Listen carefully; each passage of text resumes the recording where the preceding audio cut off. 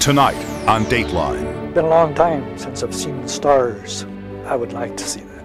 They shared their lives and then the same fate. I can hold my hand right here and I can't see it. I can't see it. I can't see it there. Twin brothers who both went blind. How old was your daughter the last time you were able to, to see her? Oh boy, six, seven years old. And now she's 22. Now she's 22. After decades in darkness an extraordinary chance, another set of brothers will attempt what no one else has to bring these twins back to the light. We're looking at something that's never been done before. A landmark operation to restore their vision. Is it even possible? What if it doesn't work? And I look at it the other way. What if it does work? Let me have the lens fragmenter. Two teams of brothers bound in a daring test of science and hope. I may wake up and see a whole new world. How far would they go? How much would they risk? Oh boy! I think it scares you a little bit. Together, they lost their sight. Together, could they get it back? Dateline is there for the moment of truth. What do we have right up here? Rob Stafford with Vision Quest, a Dateline special. From our studios in New York, here is Jane Pauley. Good evening. It's thinner than a piece of paper, smaller than the head of a pin, but its possibilities are beyond measure. This tiny chip may hold the power of sight. Tonight, we take you on an extraordinary journey of discovery. You'll get a look through the eyes of two blind men, twin brothers, who decades ago lost their vision. And you'll meet another pair of brothers determined to gain it back for them. Together, they would test the limits of science and of themselves. Here's Rob Stafford. I drove home one day and I gave my wife the keys and I said, I'll never drive again. That night, if some little kid would have walked out, I'd hit him. And I knew that it was coming. For more than 30 years, Melvin Keogh had lived with the inevitable. Now it was upon him. He was going blind. Like you're turning a light switch down dimmer and dimmer and dimmer until there's no light. And that's the way it has gone. I can hold my hand right here and I can't see it. I can't see it. I can't see it there. What am I doing now? I don't know. As a young boy in Wisconsin, Melvin, who is now 60, was diagnosed with retinitis pigmentosa, RP, an incurable disease which causes loss of sight. Melvin inherited the disease from his mother, who went blind at the age of 40. Looking at your mom, did you understand that someday that Yeah. could be you? Yep, I knew it would be. Someday. It was going to be my turn. Back then, Melvin's vision was close to 20/20 with the help of thick glasses, and he was able to see well through his 20s, determined to make the most of his sight while he could. He worked in construction and met his future wife, all the while anticipating what was to come. Before I got married, I was sure, and I told my wife that I said, "Uh, more than likely, I would be blind, and that didn't make any difference to her. Joanne Keogh has been married to Melvin for 32 years. we knew it could happen. We didn't know if if it would or when it would, but we knew it could. We we always knew that. It didn't stand in the young couple's way. The Keoghs raised five kids, which kept them busy. But Joanne says that day her husband turned in his car keys, she knew what they'd been anticipating all these years was finally a reality. He gave me the keys and he says, "Here, I'll never drive again." He says, "I'm afraid I'll hurt somebody." And then I knew that he really couldn't see. She knew Melvin, who was 38 at the time, was devastated by the loss of independence. I was the only driver then. I mean, we had this house full of little kids, and I was the only one driving. So Without her, how would you have gotten through all this? It would have been extremely hard. I owe her a lot. One thing that has been incredibly hard for Melvin is not watching his kids grow up. What have you missed in those 25 years? Oh my goodness. Everything. the most, I guess, not being able to see, you know, your kids. Other things like that. A lot of things you take for granted. I can't do that. He never got the chance to see the face of his youngest child. His son Bobby is now 18. His oldest son, Scott, was a toddler the last time his dad could see. He couldn't really do the things that most fathers do, you know, take him to play baseball and stuff, you know. God, I tried to get him to do it, but he was always afraid I'd beat him with the ball, so we never did that. So, But I mean, otherwise, it was just like growing up with a normal father. I mean, you just had to accept the limitations that he had, you know, and just do what he could. The kids have been very good. Used to get a kick out of the kids when they were small. And if they'd have friends over or something, they'd say, you have to move. Watch out, Dad's coming. You know, he's blind, he can't see. He'll step on you. Sometimes the children would move the furniture to try to trick their dad.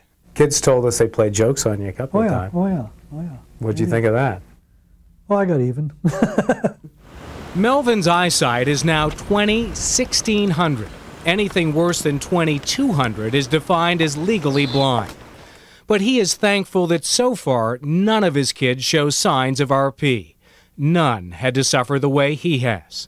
You made a big point of saying to me, I can't use the utensils, and you kind of apologized before you, you got your food. Why'd you do that? I've had little kids say, hey, Mama, how come he's eating with his fingers? You know, and, and they'll say, Shh, that man's blind. Melvin, I want to see through your eyes for a second. Can you give me a sense of what you see? It would be like when you would first walk into a movie theater, you know, it's bright, and all of a sudden you walk in there and you can't see nothing for that instant. You know, for just a few minutes till your eyes adjust. Well, mine never adjust. It's just, it's never there. There's nothing. All I see is, is basically blackness. That's a dollar, and I'll get your change. There may be one person in the world who knows exactly what it's like to see through Melvin's eyes. He has a twin brother, Delvin, who is also blind and inherited retinitis pigmentosa from their mother. He describes going blind 20 years ago as a slow motion plunge into darkness. I have in a room with uh, a bunch of very small lights, just thousands of them. Then each day turn one of them switches off, just one little light at a time. And pretty soon you're down to where there's not very many lights on. In the years leading up to this point, Delvin married, had kids, and incredibly became a truck driver, taking the opportunity to see the country while he still could. But at 40, with his eyesight 2800, he too had to give up driving. And all the things he once took for granted were covered by a blanket of black fog. Can you see anything when you look across at me? No, nothing at all. Can you see what I'm doing right now? No. Uh-uh. Can you tell how many hands I'm holding up? No. What do you miss the most? Uh, believe it or not, the green grass. to see that. I know it's there, and it's to me it looks black, but I know it's green, and just, just a simple thing like that. How old was your daughter the last time you were able to, to see her? Oh boy. I'd say she was six, seven years old when I could really see her. And now she's 22. Now she's 22. Yeah. And keep in mind, the world the Keoghs remember is frozen in time in the early 80s. The world has changed a lot since the last time you saw it. Oh, yeah. Do you know what a VCR looks like? No. A computer? No. No, I have no idea what they look like. When you say a computer mouse, all I can think of is a damn mouse running across the floor or something, you know. That's a mouse. Another thing they haven't seen clearly in more than two decades each other. Now, quite a few pounds heavier, with hair gone gray, these twins, once nearly impossible to tell apart, have no idea what the other one looks like. Still, that doesn't keep them from guessing. Who's the better looking one of the two of you? well, it'd have to be me. that ain't a fair question. Who's the better looking one? Well, of course I am. That's not what Melvin said, I'll tell you that. Where the hell's the goal? The brothers haven't lost their sense of humor, but they had lost almost all hope of seeing each other again. The actual pixels were still functioning. Little did they know, two other brothers, total strangers, one a doctor, were about to ask them to take a chance that could change everything for these twins from Wisconsin. This is a really a golden opportunity for myself and my brother. When we return, a second pair of brothers with an extraordinary vision of their own to help the blind see. Did people think you were crazy? When Vision Quest continues. Straight ahead. Vision Quest. Tonight's Dateline special continues. The Keogh brothers seem destined to spend the rest of their lives in darkness, unable to see friends and family, isolated from the world around them. I think everyone, in a way, should be blindfolded for a day and do what they could do. You would look at things so much differently.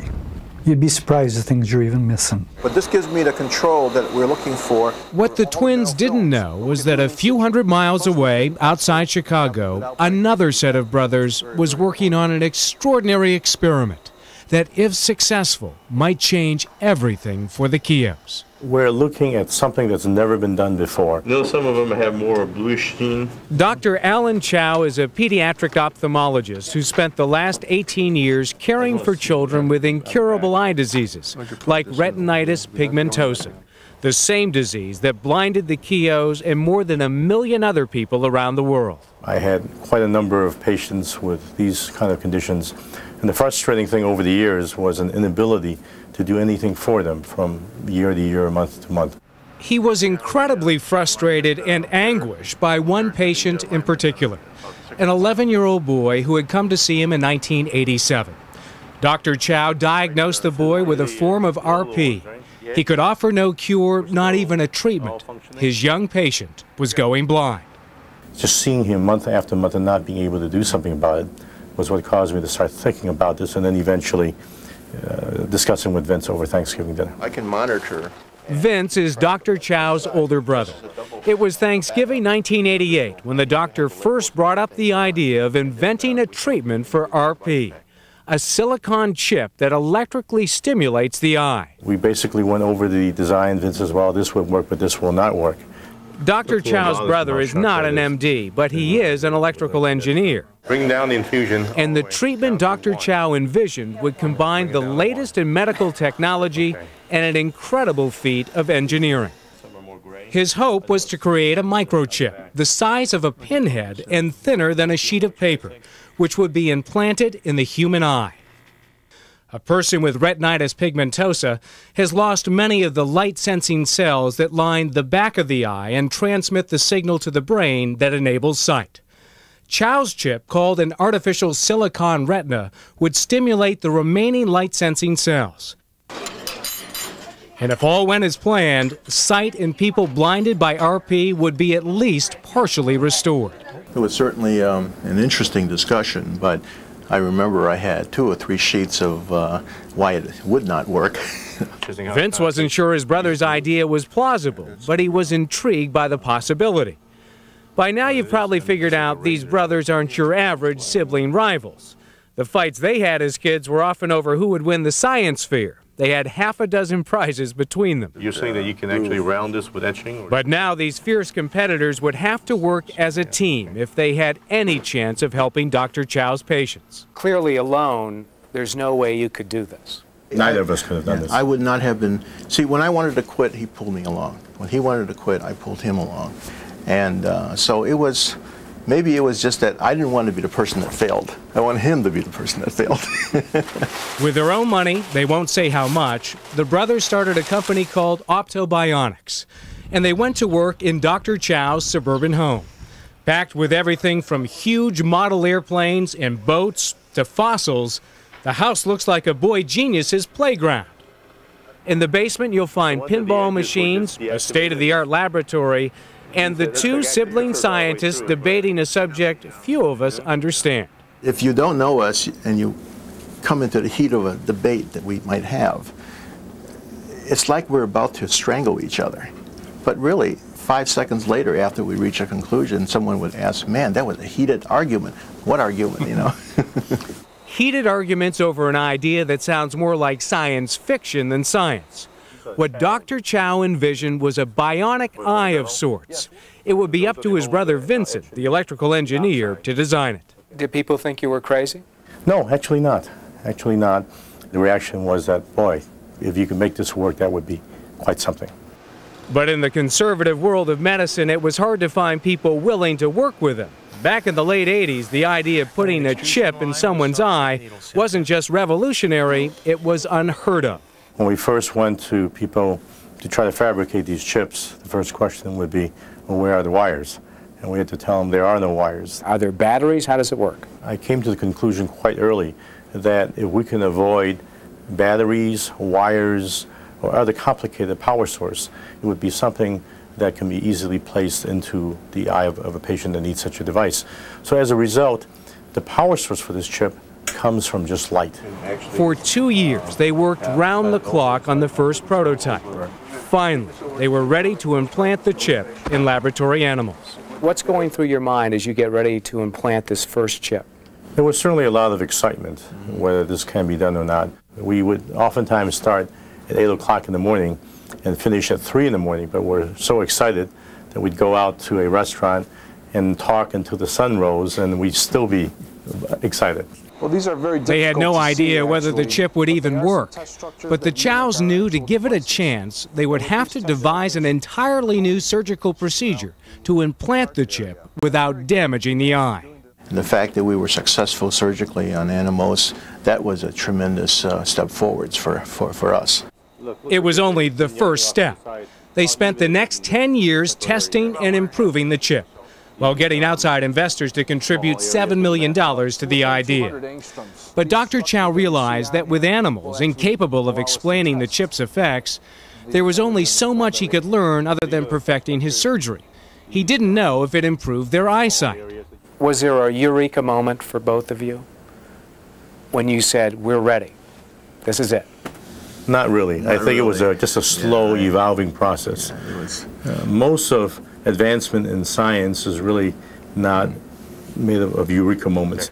13 years had passed since that Thanksgiving dinner, and after all the hard work, the brothers knew the biggest hurdles were still ahead. The next step implanting the miracle chip in blind patients like the Keoghs. The question was would it work? We now return to Vision Quest. By the summer of 2000, 13 years had passed since brothers Alan and Vincent Chow set out on a path towards curing blindness. The Keogh twins had spent those same years in the dark, and they expected to live that way the rest of their lives. They had been without sight for 20 years, and there was no hope of recovering. I used to tell people, you know, they could have both my arms if I could just have one eye. The Keoghs had no idea the Chows were hard at work developing an artificial retina. And that year, the FDA approved the first phase of clinical testing on their device. See the pixelation. Finally, the opportunity to see if they could safely implant their chip into blind patients. Are there any guarantees? There are no guarantees. So far, Dr. Chow had only tested the chip on animals. It had never been implanted in a human eye. And as the doctor began his search for patients, he worried about giving them false hope. He wanted to make sure they knew this was only an experiment. It's a study where the outcome is uncertain, and it's very important to make sure the patient really understands this possibility. The doctor posted a website asking for volunteers, and once word was out, his office was inundated with calls and applications. They heard from people all over the world, from 42 countries, including Brazil, Cuba, and Italy. One woman wrote, I'm desperate. A wife inquired twice for her husband. Excuse me for being so insistent, she said, but there is nothing more important for me. I dream of good news. I imagine a future in which my husband can see. I'm totally blind. Then the Chows read another application, one from a blind man who lived in Wisconsin. It was Melvin Keogh, who had heard about the trial from his doctor. Reviewing his application along with literally hundreds of others, we decided that his condition would be worthwhile to be investigated initially. So we brought him in. Melvin couldn't believe his luck. I'm quite excited about it. Six months had gone by since he sent his initial application, and he was beginning to wonder if he'd ever hear from Dr. Chow. The right eye. He went down to Illinois for his eye exam and passed all the tests to qualify for surgery. Two weeks later, he got the call he'd been waiting for. Thank you. What was that moment like? Oh. Pretty exciting. really exciting. I But Melvin had one request. After he was admitted to the study, he says, well, I do have a brother who's also very interested. It's all right. Melvin desperately wanted his twin to get the same treatment. So the doctors agreed to test Delvin too. And out of nearly a thousand applicants, he also was chosen. The brothers were among only six patients picked for the study. It's a miracle that either one of us, I guess, has been chosen to go through it. And to be chosen to go through together, what are the odds of that? Together, they had lost their sight, and together they would have a chance to get it back. But there was one condition, and it was a big one. The doctors told the brothers that under no circumstances could they talk to one another about their experience. They could only speak with their doctor about how they were doing. For twin brothers who wanted to share in this experience, that was a lot to ask. That might have been one of the conditions. He might not have got in, or I might not have got in. There was no way I was going to jeopardize that. I'm not kidding you. So they agreed to ignore the elephant in the room and find other things to talk about. Over the years, the two brothers who lived in different parts of Wisconsin had gone their separate ways. So they had a lot of catching up to do. And in a way, they became closer than they've ever been. We've talked about a lot of things and uh, what we'd like to do again. You know, maybe we might have a chance to do it again. So, yeah, it's it's changed. we I think we've gotten to know each other pretty good. Have you and your brother talked about if this operation is successful for one of you but not the other? We might have mentioned it a little bit, but if it works for him and not for me, I think that'd be wonderful. At least one of us got it.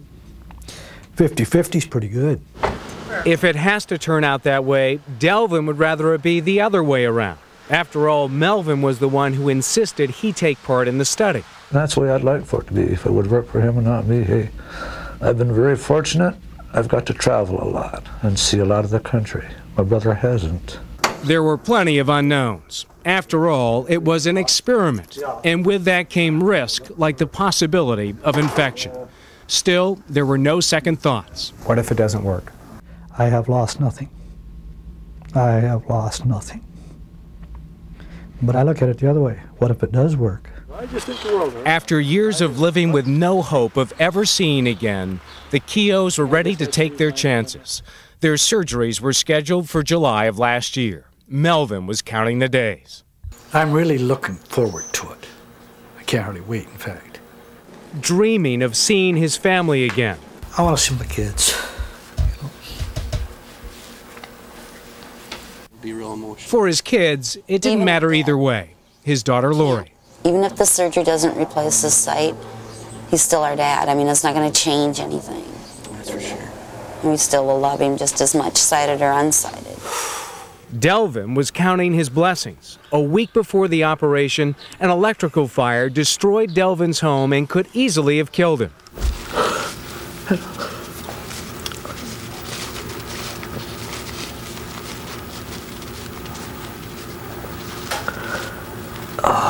This is hard. Now divorced, he was home alone. It was the middle of the night, and his blindness made escape almost impossible. But with the help of his guide dog Bud, he made it out alive, more determined than ever to go forward with the surgery. What I have to do is concentrate on uh, going down and and uh, receiving this here operation. Uh, that's what I have to concentrate on. Try to think, make sure I got everything. With emotions running high, the two brothers packed their bags for the 200 mile trip to Illinois. They had spent close to half their lives in total darkness. Over the next few months, they would find out if all that would change. We now continue with Vision Quest, a Dateline special. After 20 years of blindness, the Keogh twins might finally experience the wonder of sight. They were about to embark on an opportunity of a lifetime, an experimental surgery that could restore some of their vision. Really? It isn't until the night before the operation that the brothers start to get nervous. I wish it was all over. real. Just sitting around waiting is hard to do. Damn hard to do. They're holed up in a hotel, counting down the hours. We've been back and forth to each other's rooms. I don't know how many times today. The brothers try to keep themselves busy, swapping stories about their childhood, listening to books on tape, and wondering aloud what a hospital would be like without sight. You had to totally trust everybody. You know. Not that it scares you a little bit. You guys like ravioli? To help pass the time, Dr. Chow and his staff invite the Keoghs out to dinner at a local restaurant. The doctor and his patients have become quite fond of each other. Delvin, I'm Delvin. No, no, come on now. There, the doctor delivers a potential blow to Delvin. One of his blood tests has come back with unusual results that might disqualify him from the FDA trial. He might not be able to get the implant. Is there a chance that the, the, he won't get it? I would be turned down because of this? Well, not that we can help it. Delvin has come too far to give up. Wouldn't that be something to get this far and Oh, that be the end of it? I don't even want to think about that. After a sleepless night, oh. his prayers are answered. The following morning, the FDA gives the go ahead to include Delvin in the study. This time, Delvin, the younger twin by a few seconds, will go first.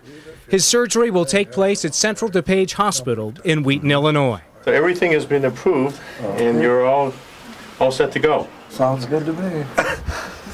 Moments later, Delvin is overwhelmed. Oh, boy. I'm sorry. The surgery will take two hours. Delvin will be under anesthesia the entire time. In the operating room, the doctors are busy setting up. Take my glasses off, please. Before the microsurgery can even begin, Dr. Chow needs to prepare the tiny implant, the size of a pinhead, for insertion into the eye. Let me have the lens fragmenter. His brother Vincent, the engineer, is standing by videotaping the procedure and watching to make sure everything's okay with his design.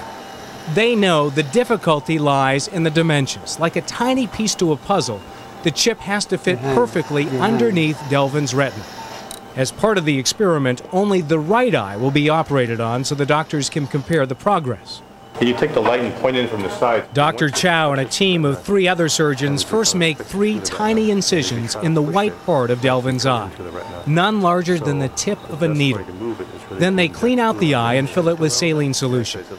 Next, a pinpoint opening is made in the retina, just large enough to accommodate the chip. Using a specially designed tool and air pressure, the surgeons gently try to work the uh, implant into the right spot. Maneuvering something so small without injuring the eye is the most difficult part of the procedure. The tension was very thick. There was absolute silence in an operating room where there were perhaps 20 people, 15 to 20 people. No one even breathed as we were putting the chip in. You successfully implanted the chip. Yes. Yes.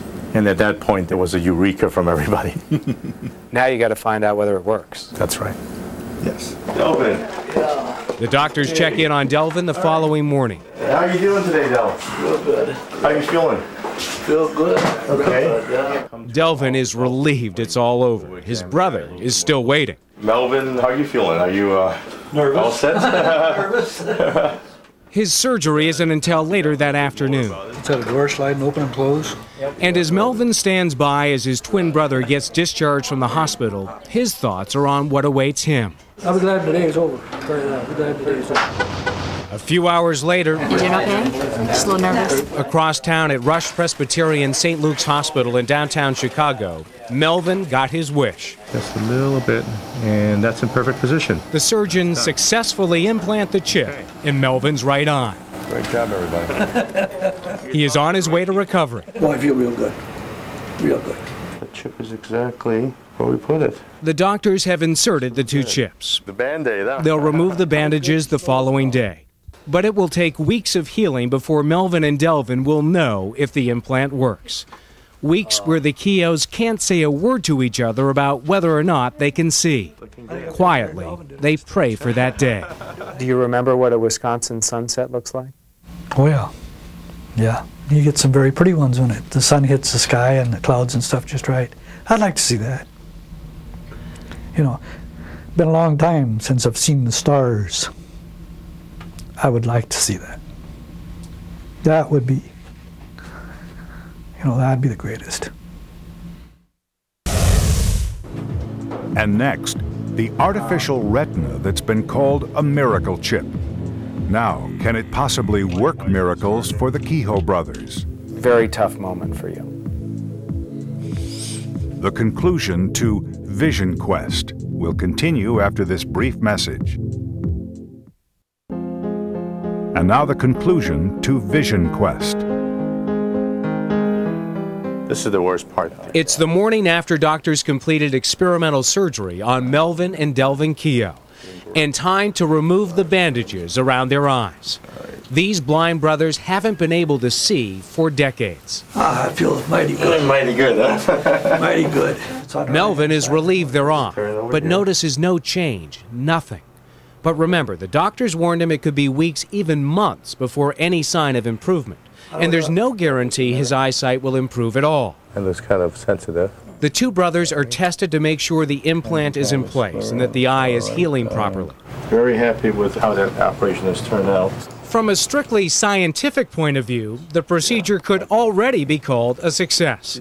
A success easier to obtain for Dr. Chow than for his blind patients. In fact, the doctor has already accomplished the primary goal of his FDA study to test whether the human eye could even tolerate the chip. Any complications? No complications that we've noted so far. Rejection? None. Inflammation? None. So far, so good. Yes. Yes. The chip is safely in the eye, but will it actually restore sight? Look down. Over the next several months, the doctor will closely watch Melvin and Delvin for any signs of improvement or failure. As the twins head home, they're already dreaming of what they might see. Delvin has one person in mind. What would you want to see? See the doctor.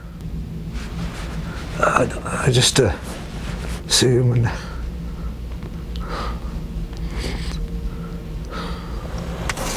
For Melvin, each morning brings hope of new discoveries. It's kind of thrilling to look day ahead, you know, what, what will it be tomorrow? What will I see tomorrow? But the first three weeks are full of unanswered questions and disappointment. I still, you know, don't get around as good as I'd like to. I can just barely see the sidewalk, that's all. So far, Melvin hasn't seen much of anything. He was really noticing no change, no difference. it's hard to come home. Meanwhile, Delvin is busy focusing on other things, like picking up the pieces after that devastating fire at his home. Yeah, you pick up and you go on. That's all you can do. Impatiently waiting for any sign of progress, a flicker of light, a shadow, some indication the surgery had worked. Someday uh, later on, I may wake up and I'm sure I'll see a whole new world, and that, and I might not be able to see anything either. This side over here. At the one month mark, the Keoghs are back at Dr. Chow's office for testing. Their appointments are on the same days, even though neither brother knows how the other is doing. Melvin thinks he has experienced some slight changes in his vision. But I still see motion where I didn't see the motion before. He came in and he said, uh, Doc, just the past several days, uh, something is starting to happen. He tells the doctor that he believes he can see things he hasn't seen in 20 years. A car driving by, his own shadow on the sidewalk, but he isn't positive. I didn't know if I was imagining it or actually seeing it. While Melvin isn't sure if his eyes are deceiving him, Delvin is convinced his eyes are improving. He started noticing things that he was sure he did not see before. Things around his home, colors, like a red and white checkered tablecloth, and the view from his kitchen. I'd have to hold real still and focus by looking out the window. I could see the, the tree limbs. That must have been pretty surprising to you. it was. It was. Felt good. You don't know until. Delvin is overcome with emotion about what else might be in store. I'm sure it's going to be uh, a lot of sight, and it's it's a wonderful feeling. S D Four months later, in December, sure enough, Delvin uh, continues to make enormous strides. Delvin can now read eye charts, count fingers, two one. and amazingly, and most importantly, see faces again. Are you able to see your own face? Yeah. why, why are you laughing? Oh. I look old, Doc. You look old. Without sight, Delvin has been ageless. Now, after all these years, he doesn't recognize the stranger in the bathroom mirror. What'd you see? I didn't like what I saw. I looked old. One face he is thrilled to see, just as he had hoped, his doctors. Over the course of the last six months, Delvin has developed a close relationship with Dr. Chow, and he has anxiously awaited this moment. The first time I saw your face, and I don't know if I got to say it, but uh,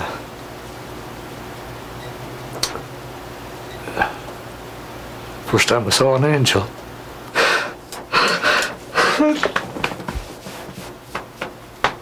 You told Dr. Chow that he looked like an angel. What did you mean? For what uh, he's done for myself, my brother, and, and uh, several other people, to give them real hope and a real chance to be able to do some of the things that they haven't been able to do for a long time. Or, uh, see. Delvin's vision in his right eye is now 2200, correctable vision with glasses, four times better than when he first entered the study. Remember, he has no idea how Melvin is doing. These brothers have been under strict orders not to discuss the results of the surgery. But back at home, Delvin is seeing more and more every day, and he'd like nothing more than to share his miraculous results with his brother. After all, they've been through so much together already, watching their mother go blind and then suffering the same fate themselves. But what Delvin doesn't know is that his brother isn't seeing much of anything. Oh. After four months, Melvin is still struggling. It's gone. That, that letter totally left me. Still not. He says his vision improved ever so slightly, but it comes and goes, which leaves him frustrated much of the time. Quite discouraging. The, the uh, pain you're having or the Well, no, aching? the, the results I'm coming up with, it's, it's discouraging to me. I'm going to move and see if you can locate me. Just days after the surgery, long before the chip possibly could Okay, have helped guys, their vision, tell where I am right the brothers were allowed to show us just how little of their eyesight was left. I'm going to move, count to 10, and then see if you can tell where I am. Point at him. Point at him? What do you see? What am I doing? I got no idea. I can't see. Making a fool of yourself? I don't have any idea. Oh boy. It's now four months later, time for the brothers to learn if the other can see. We brought them back to a field. Count to five, and then point to where I am. Okay.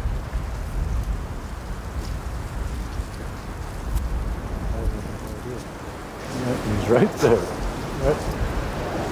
I'm facing right at him. Delvin, you can see me? Yes, sir. I yeah. Melvin? I cannot. You can't see. No. You can't No, I cannot. I cannot tell you at all. No. Now do you see him? No. He's about eight feet in front of you, or six, six maybe six feet. So quite a difference between the two of you. Yeah. Apparently so. We didn't know that. No, we did not know that. And Melvin, how do you feel about that right now? Well, I guess a little disappointed, but no, I don't. I'm really happy for him. He'll catch up, no doubt. All right.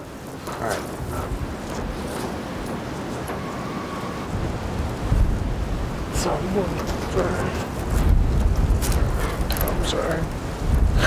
You couldn't make me out in that field at all. No. You couldn't see what I was doing No, with my no, arms. No. Not even a shadow. No. No. Melvin, who first wrote to the doctor and insisted his brother be part of the study, is now left behind. I think it uh, kind of shook me up a little. That you know, it a lot of thoughts. You know, thoughts I won't tell you about. Remember, given the choice, Delvin would rather his brother be the one to see. They waited all these years for this day to come. Now, it is bittersweet. You clearly were able to see me, and Melvin could not. Yeah. Very tough moment for you. Yeah.